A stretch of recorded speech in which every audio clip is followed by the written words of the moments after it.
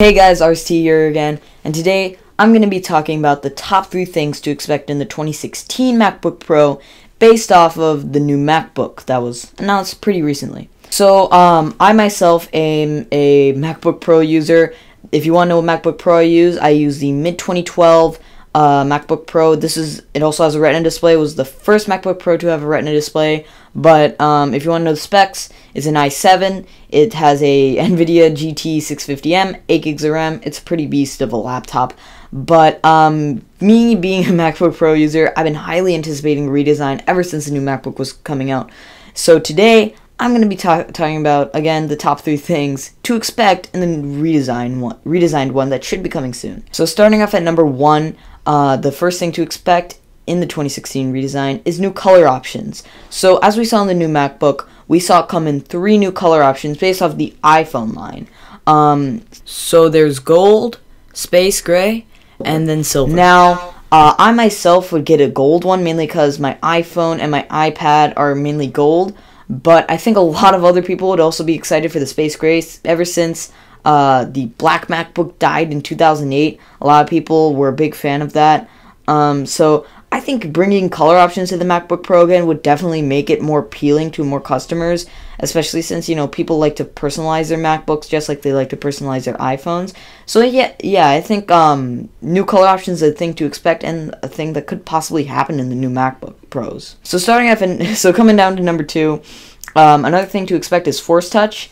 Uh, the new MacBook right now has a Force Touch trackpad, and what that is basically is a pressure sensitive trackpad, which basically it simulates the clicks with pressure that comes back once you click it or press down on it. And for the new the new MacBook Pro so far, the refreshed one in 2015 does have a Force Touch trackpad, but for the redesigned one, I would like to see the 3D Touch trackpad, mainly because um, it would make using pro applications like uh, Adobe Premiere or any other pro applications. Um, I think memorizing, you know, uh, key- keyboard shortcuts takes a lot of time. So I think maybe, you know, implementing the 3D touch trackpad, maybe you could like remember just gestures or like certain clicks. Um, I think that would make using pro applications and video editing applications a lot easier because you know remembering a certain gesture or um, a certain press i think personally is a lot easier than remembering a certain keystroke or a certain key command. I just think that's easier. So going down to number three which is the last and final thing um, this is uh, USB Type C. So the Mac- new MacBook is the first ever Apple device to ever use USB Type C, and that's a big deal because USB Type C is the first ever USB te- technology to be reversible, just like Lightning, which means you can put it in any way you want and it won't, it will still work.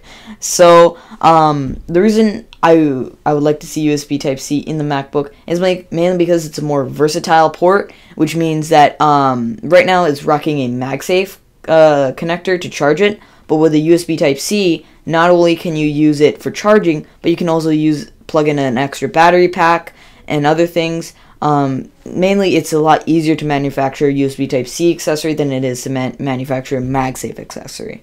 So yeah, that's why I want to see um, USB Type C coming in the new MacBook Pro. So that was it for um, top three things to expect in the new MacBook Pro. Um, I hope you liked this video and I hope it informed you. Uh, me being a heavy MacBook Pro user, I'm really excited for the new MacBook Pro that hopefully will come out. You know, Apple's been totally neglecting it for a while, but um, I can't wait for it.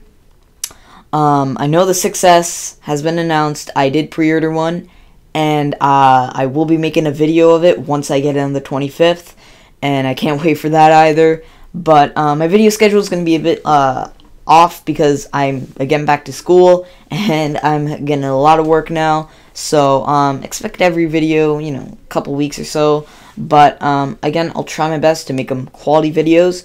So yeah, this is RST with a HD video. Peace.